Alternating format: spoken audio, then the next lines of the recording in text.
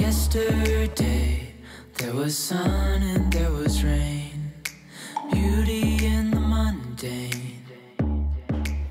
どうもこんにちは。モノグラフの堀口です。今日も動画を見ていただいてありがとうございます。もう年末が近づいてきたので、えー最近ねもう書き込みで、えー完全ワイヤレスイヤホンですね。たくさん試してます。まあ年末年始も完全ワイヤレスイヤホンランキング出してるのでまあそれをねいろいろ試してるんですけどまあ正直ねもう動画で紹介してないやつねたくさんあります。でその中からまあこれはねまあ多分皆さん気になるだろうっていうものだけ、えー動画化をねしてるっていう形なんですけども、まあ、今日もね一個その中からご紹介をしようと思います、思います。えーそれがですねこちらですね、えーバングオルフセンからですね、えー出ました。今年のね最新モデル、えービオプレイの EQ っていう完全ワイヤレスイヤホンになってます。まあ、このビオプレイはですねあの結構まあ有名というか本当今どちらかというとねスピーカーがねすごい人気があるのかな。おしゃれなね人の家にはね1台こうバンガルドオルフセンのスピーカーがねあるイメージがね僕の中ではあるんですけれども、まあ、そんなね名門と言われているそのねバンガールドオルフセンの完全ワイヤレスイヤホンシリーズですね。それの最新作についてお話をしていこうと思います。まあ、結構これ値段がします。3万円台後半というですね、まあ、完全ワイヤレスイヤホン中でも相当上の方に、え位置する、ね、価格帯のイヤホンなんですけれども、まあ、これね気になる方のためにですね今日はちょっと見ていこうと思います。でまあ先にね結論からお話ししちゃうと、まあ、非常にね中高音がめちゃめちゃ綺麗ですそれでいて見た目がね本当にまあ唯一無二というか本当にかっこいいなっていうイヤホンなので、えーまあ、そこから先のね、まあ、詳しい音質の話とか、えー機能の話はぜひねじっくりさね見てもらえると嬉しいです。はい、それでは始めていきましょう。まずはこちらね外観から見ていきます、えーこちらねビオプレイ EQ の外箱ですね、まあ、この辺はやっぱりね高級イヤホン帯っていうところもあって、まあ、しっかりしてますよね、はい、で中身についても見ていきますね、えーこれがですね今回のビオプレイ EQ のケースになってます。これ触った時の質がめちゃめちゃ良かったです。これアルマイト加工をね表面にされているアルミのケースなんですけども、まあ、非常に軽いですし質感がねめちゃめちゃいいんですよね。すごくこうアップル製品にね近い、えーこだわりをね感じられて、まあ、これはね、まあ、価格に見合ってるなというか、まあ、すごいいいものだなっていうね感覚ありますね。あとね非常になんか薄いんですよね、まあ、こうやって、まあ、上部から見るとこれ楕円形なんですけれども、えー側面から見るとですね結構薄くてこれだったらまポケットとかにもね入れやすいのかなと思います。完全ワイヤレスイヤホンって結構この高さが出がちなんですけどもねこれがねだいぶ薄くなってるだけで見た目のね感じ違いますね。まあこうやってねあの上下というかね縦横入れ替えると同じぐらいなんですけど、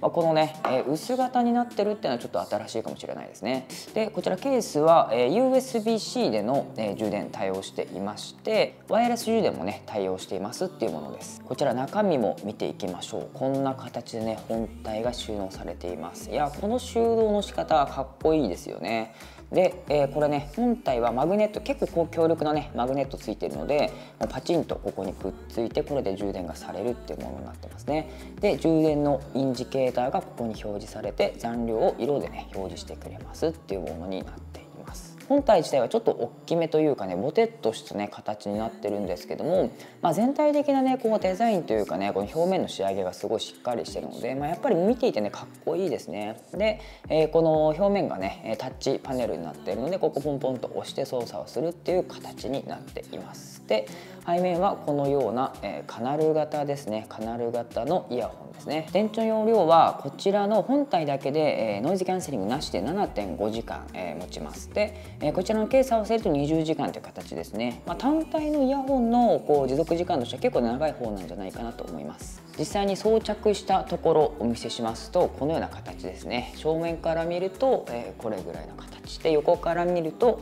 えーこういうね見た目になっています。タッチの感度も結構ね良好なのでしっかりねこう意図した動作は、えー作動してくれますね。で、まあ、ちょっとねこれも操作が若干変わってましてこうダブルタップで再生とかあとは1回押した後長押しで音量調整とかっていう形でちょっと独自のものになっています。でまあちょっとね操作のところで言うとあの曲送りがないんですよね。これあの再生と音量調整だけっていう形になってるので、まあ、この辺ちょっとアップデートで改善してくれたらいいなと思います。あとはこれ電源入れた時とかなんですけど、えー、結構ね優しいガイダンス音でこうポコッと音がするんですね。それは非常にねこのバンガンドオルフセンらしいなというか結構こういうイヤホンってそのガイダンス音がねうるさかったりとかちょっと合わないなってものねあったりしたんですけどこれはすごくね優しいガイダンス音なのでこれはねすごく心地いいななと思いました。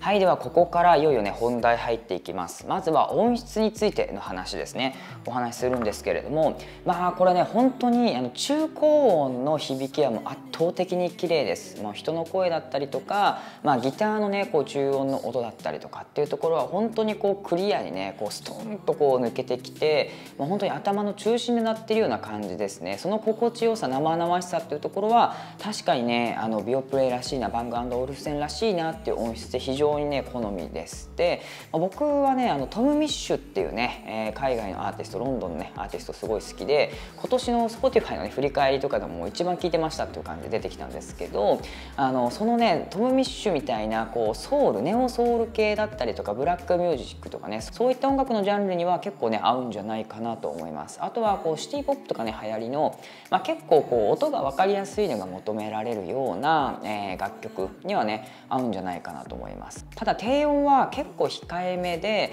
まあ、いわゆるこう低音ね下支えというかこうねこう圧を感じるような包み込まれるような感じっていうのはちょっと薄いかもしれませんね。あのあくまでこう中高音をきれいに聞く用のイヤホンかなと思っていて。音楽聴いていて本当にのめり込むようなグルーヴ感とか没入感が欲しいっていう方には、まあ、ちょっとね、えー、物足りないかもしれないです。なので本当にこう正直にまあ総じてね、えー、感想を言っちゃうとまあグッとくるようなね感動は薄かったですね。あのこのイヤホン3万後半するんですよ。なので、まあ、この値段感だったら本当にこう人を1回聞いてねもう1回で分かるようなあこれはすごいなっていうこう感動みたいなものをねこう求めてたんですけど、まあ、ちょっとねそこまではいかなかったなっていうのが正直なところですね、まあ、確かに中高音綺麗なんですけどちょっとねこう全体的ににマイルドすぎるかなというかもうちょっとねこうワッとくる感動が欲しかったなっていうのが正直なところです。続いてこちらノイズキャンセリングの性能についてお話しします。まあこれもですね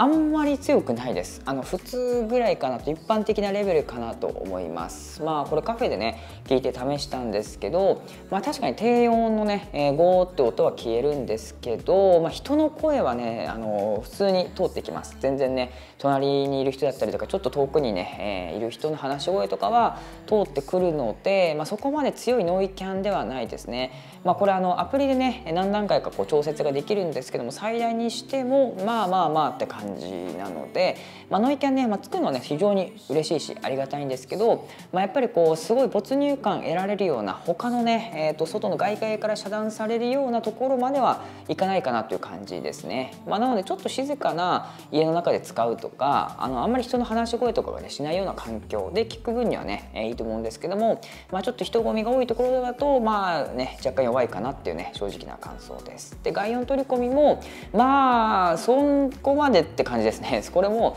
あんまり綺麗ではないかなと思いました。あのちょっとねこう曇って聞こえる部分が多かったりとか耳にねこう刺さるようなね、えー、ことがあったのでまあねそれなりのね一応もちろんね使えるんですけどまあそこそこのね音質かなっていうところになってます。あーですです。えー、今こちらですね、えー、このビオプレイを、えー、この耳につけてですね、音声の収録をしております。どんな感じで聞こえますでしょうか、えー、普通のね、ウェブ会議とかミーティングではね、この音声が聞こえるっていうね、状態ですね。あーですです。こちら今、えー、バンガンドオルフ線のビオプレイの、えー、音声ですね。こちらで今収録をしております。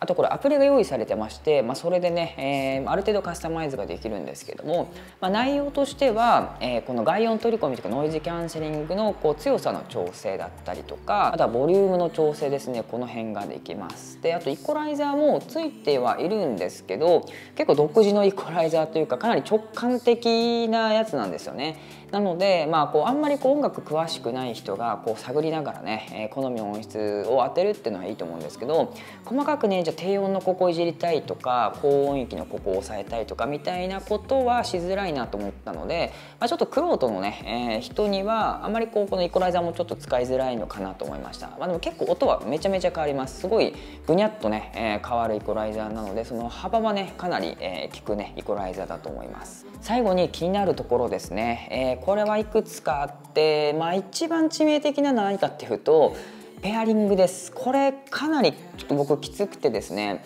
あのー、まあ、普通ね最近のイヤホンだと,、えーと、こうイヤホンね、えーと、接続したままもう1台のね接続ができるマルチペアリングがついたりとか、まあ、それこそねイヤホン操作しなくってもこう AirPods みたいな感じでねデバイスの方からペアリングをね切り替えれますっていうものが多かったりするんですけれども、まあ、これはどうなってるかというと一回ねこの、イヤホンですねイヤホンをこのケースの中にしまってしまった状態でこれね5秒間長押しして切り替えてっていう形なんですよ。なのでペアリングの切り替えに必ずこのケースが必要になってきます。これが渋いです。だいぶ渋い。あの僕なんかはねやっぱりこう常に MacBook とこうスマホね、えー、切り替えて使ってるので。でウェブ会議とかでもそれぞれね使ってるのであのその都度ねこれを切り替えるのはなかなかしんどいんですよね。それでいてなんか接続のね安定性というかこの切り替えの安定性がすごく低いというかあんまりうまく切り替わんないんですよね。毎回こうねあこっちつながっちゃったみたいな感じになってるので、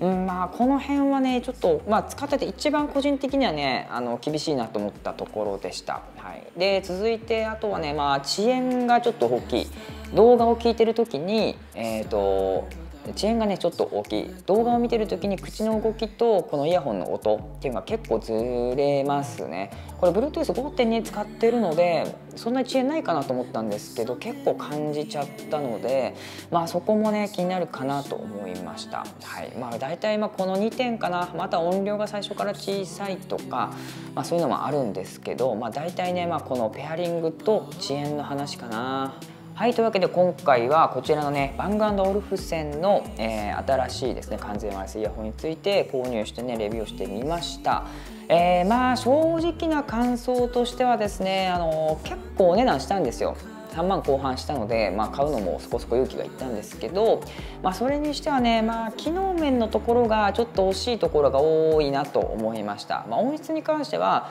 まあ、もちろんね好みの問題もあるし、まあ、中高音のね、綺麗さっていうのも抜けてるのでそこはねすごくいいなと思うんですけれどもちょっとそれ以外の点でねもう悩ましいなっていうところがありました。値段もねそうだったしまあそれ以上にねこう期待をしていたところは結構大きかったので、まあ、そこはね、えー、個人的にはちょっとね残念だったなっていうところです。で、まあ、ただですね、まあ、このもの自体の良さというかもうこのケース本体の質感だったり、まあ、そのね音の綺麗さみたいなところは、まあ、機能とはまたちょっと別でねこう魅力のあるところなんですよね。まあ本当になんだろうなカメラで言ったらライカとかそうじゃないですか。オートフォーカスついてないけど撮れる絵は綺麗だし、まあ、何よりねあの見た目がかっこいい質感がいいみたいなところっていうのは確実にあると思うので、まあ、このね、えー、バンガードオルフセンもそういう人ね多いと思うんですよ。このやっぱ見た目が好きだから使ってます。ものとしての所有感があるから好きで使ってますっていうのは、ね、確実にあるところだと思うので、まあ、そのね、えー、バンガードオルフセンのファンの方こう見た目デザインをね重視しますっていう方には、えー、いいねイヤホンなんじゃないかなと思います。はい、でまあ最後に、